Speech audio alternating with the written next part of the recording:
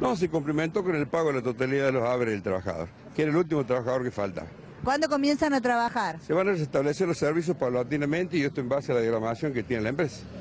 ¿Qué es lo que pasa? Que puede haber uno, dos, siete trabajadores sin cobrar el salario. No, no, yo no, eso cosa por su cuenta eso. Nosotros hicimos una conservación de pago y figuran que bien cobró todo. Vamos a certificar esto a través de cada uno de los trabajadores que yendo al cajero encuentran o no su suma que corresponde en el depósito.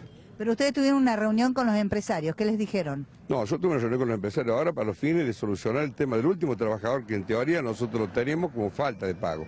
Pero falta de pago de dos meses atrasado del SAC y del laudo que había sacado ahorita. ¿Y cuál es el inconveniente? ¿Cómo puede haber un trabajador que por dos meses no cobre el salario en Ahoita? Bueno, esto ha sido el traspaso que veo de esta empresa, ¿no es cierto? Que en una forma precaria y provisoria por un año le había dado la dirección, la dirección de transporte. Y estamos ajustando ahora a los cumplimientos que tiene el convenio nuestro.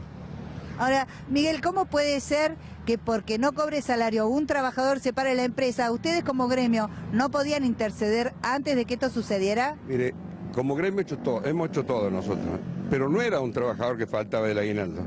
Eran 360 trabajadores que faltaba de pagar el aguinaldo, así que no fue por uno solo. Este fue el último trabajador que había quedado de esa tanda para cobrar. Por ende, nosotros dijimos, hasta que no cobre el último trabajador, nosotros levantamos la media. ¿Y qué dicen los empresarios? ¿No tienen el dinero? ¿Qué pasaba? No, no, no atendió el abogado, los empresarios no estuvieron. Bueno, como siempre los abogados.